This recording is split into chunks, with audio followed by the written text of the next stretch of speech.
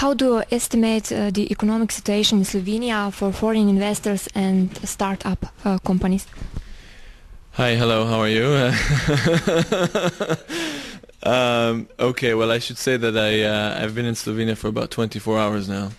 Um, so I'm still in the beginning of my journey into uh, into studying Slovenia, but uh, from what I've seen so far and from uh, what I know from before coming here, um, I think it's very positive. I think uh, the uh, integration into the EU made it a lot easier for uh, international funds, um, international corporations to, to come and, and, and seek uh, business here, because at least the um, the ground rules are are quite familiar.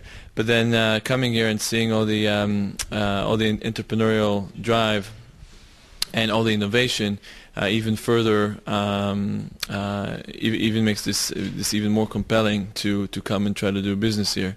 Um, so it's great from a um, from a so, sort of from an, uh, a legal uh, framework perspective, you know, coming here and knowing that it's it's EU, uh, and then coming here and seeing all the um, you know all the great energy, innovation, uh, the engineers, uh, the the small companies. Uh, I've already had a chance to see quite a few.